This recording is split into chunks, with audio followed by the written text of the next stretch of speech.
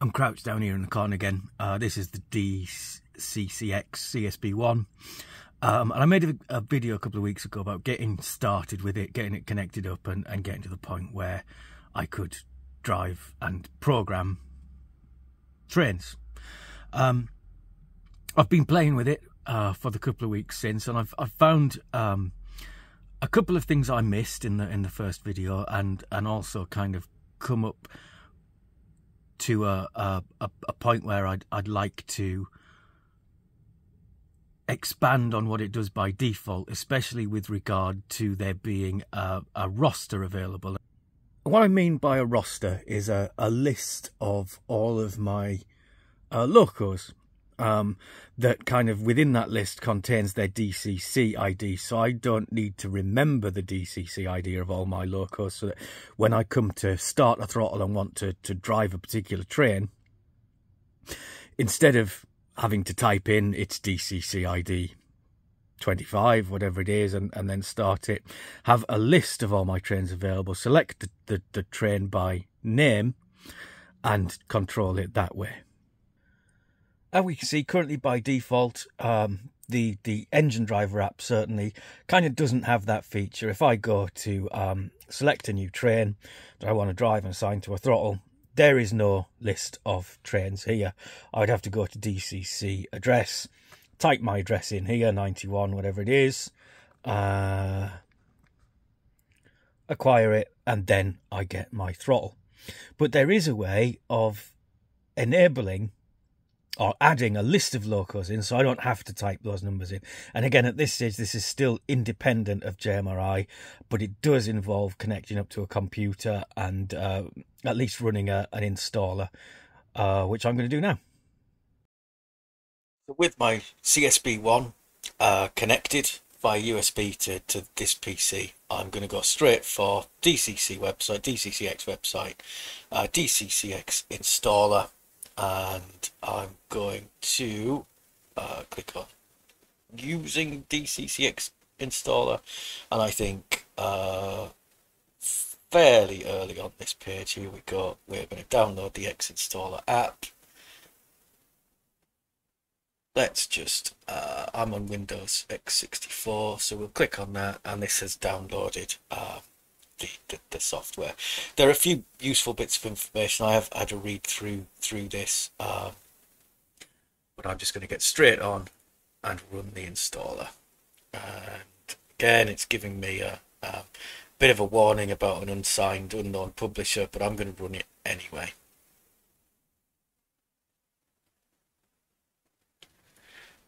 And the installer has has started. So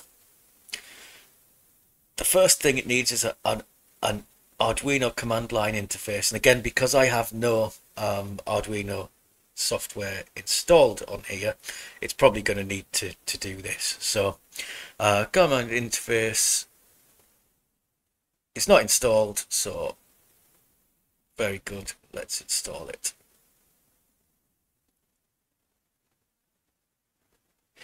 And while it's doing that, I'm going to read this. If you're using an Espressif or ST microelectronics device as opposed to more common Uno, you need to enable support for these by selecting the appropriate additional platform option.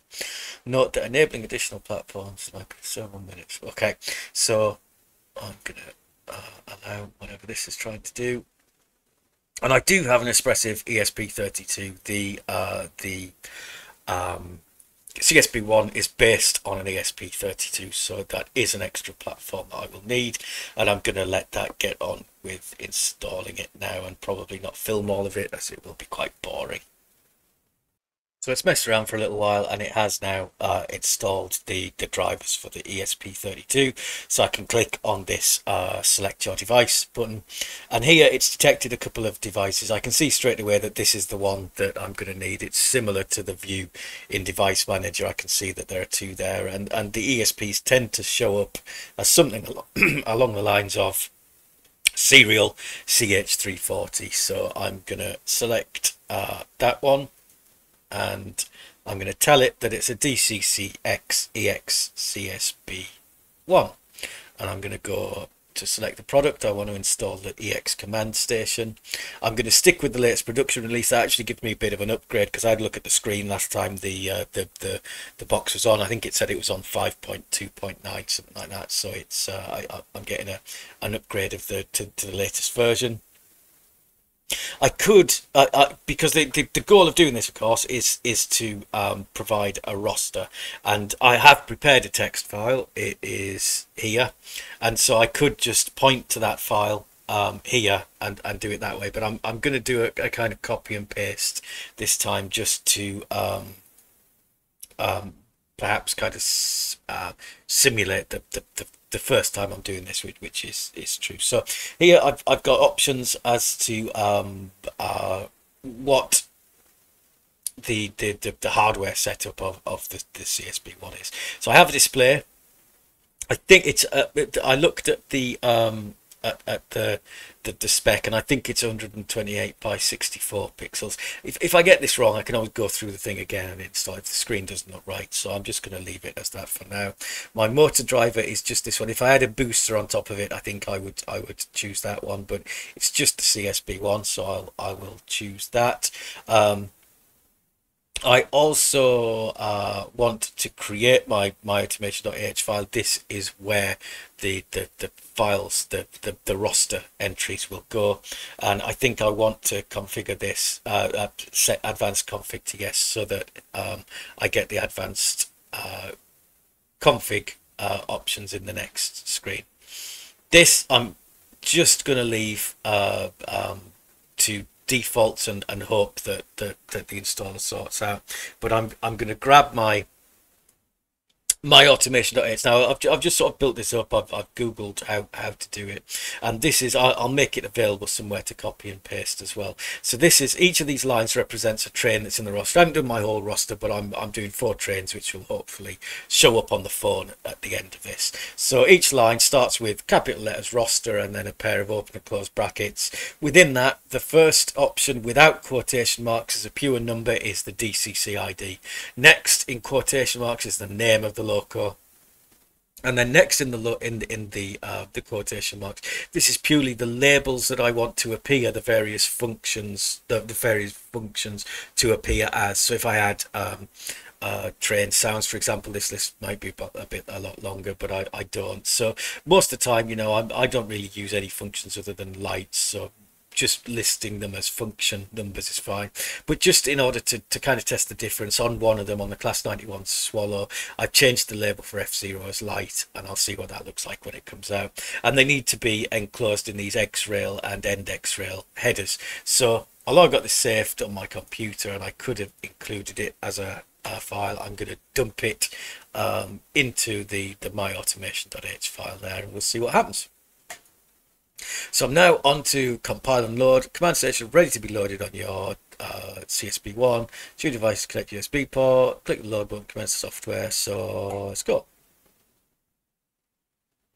And this might again be a, a slightly uh, longer process, so I will um, edit out any of the boring bits. And that's where I encountered a bit of a problem. I got this message about the uh, the, the, device not being in download mode. Now it, it's ultimately just uploading a sketch to an ESP at this point, and it's it's not. This isn't specific to the CSB one. I get this error quite a lot uh, with with uh, uploading sketches to ESPs, and it it, it, appears to be it's um, specific to, to certain computers. And as far as I can tell, it's specific to AMD computers. If you do this from an Intel machine, it'll work fine. If you do it from an AMD chips, chipset, you're likely to encounter this issue. Now, I found a couple of ways of working around it. The first one is to to uh, plug the uh, the device into a USB two um, uh, socket instead of USB 3. That can work. Also, I downloaded the latest chipset drivers for my AMD chipset. Mine is a, I think, A52, A520, something like that. So I downloaded the uh, drivers for for that, and then also um, I, have done this uh, again. Recommended. This was all through discussions on the DCC EX Discord. Um, I, I've also found a, a kind of a a reset, a way of holding in the reset button for an amount of time, which will also make the device enter download mode. I've set all my settings and uh, and and config files, and this is now uh, compiling. This is the first time compile, so I've come from from kind of completing the the install wizard, and the the first time it compiles, it does take quite a while, but it will eventually give me the uh, the kind of the compilation result message in that grey box, which kind of tells you how much memory all of the uh, the, the variables and the the, the um, sketch will take up and as soon as it it it does uh, puts that message up, the ESP uh, CSB one ESP device goes into a, a, continual reboot. You can see that because the uh, the screen kept uh, kind of refreshing, restarting, but didn't get all of the lines, all of the, the network lines and everything. So, and it's given me this message about download mode. So this time I'm going to try again. Luckily, it doesn't take as long to compile this time. So I'm going to click load again. I'm going to come down here, I'm going to hold the reset button in, and I'm going to wait for that compilation message to come in again. And as soon as it appears, and one and two and release. And this time the screen hasn't gone into that that reboot loop. Um, it's it's stayed on, and the um, the uh, upload appears to be continuing because we haven't got an error message. So it will take a little while, but kind of once we got past that initial uh, risk of a, an error message appearing, this will now complete and it will um, upload my, my new version and configuration of DCC EX, EX command station to the CSB one. Heck of a lot of acronyms. And there it is. Uh, successful message, and uh, that's it uploaded. Some encouraging signs down here. The version num number, if I can just make the screen a little bit more visible.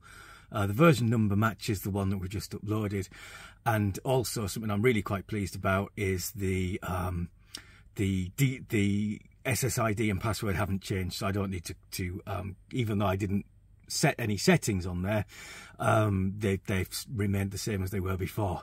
The screen looks slightly different. I don't know if I just moved it slightly when I had the, the lid off or whether I've put the wrong um, uh, setting in for the screen. So I'll look into that later. But at least the thing is up and running again. It's on the same SID, so I can go back and look at um, how this has affected the engine driver app back over here on the, the, the phone then I'm going to run engine driver and again I can see that the um, the the phone has, has, has stayed on the Wi-Fi network. I haven't had to reconfigure that. Go into DCC EX and the difference here if I click select and have roster my four trains are available. So if I go and uh, select the class 25 for example I can see there are my function definitions that I put in the in the file. Let's turn the the the track power on and I can see shortly arriving platform 1 is the class 25 um, which is now responding to its roster entry and just for comparison if I come down and uh, select the class 91 you can see there the, the difference is that the um, the the F0 button is labeled light for this one because that's what I put in the uh, in the config file. I can, of course, still, if I go down to the third throttle, I can still select uh, trains by DCC address if I want to, um, but it's just nice to have them listed by name, I think. Um, and and so obviously I could go back and, and add lines to that file now uh, for the rest of my roster. I'm going to briefly touch on something that I missed uh, in the last video I made, and that was to do with DCC programming. I was going to program my class 25, or I was at least going to read the, the, the, current values from the class 25. And I went off and I Googled, started Googling CV numbers so that I'd know um, which ones to use. What I missed is there's actually a uh, NMRI, NMRA CVs list here.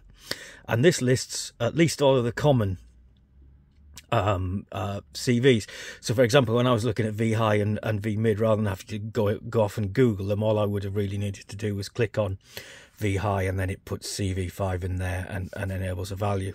There's also a list of common DCC EX commands. Uh, some it's fairly obvious what they would do. Some of them it's a little bit um, will require research, so I'm I'm going to leave that for another video.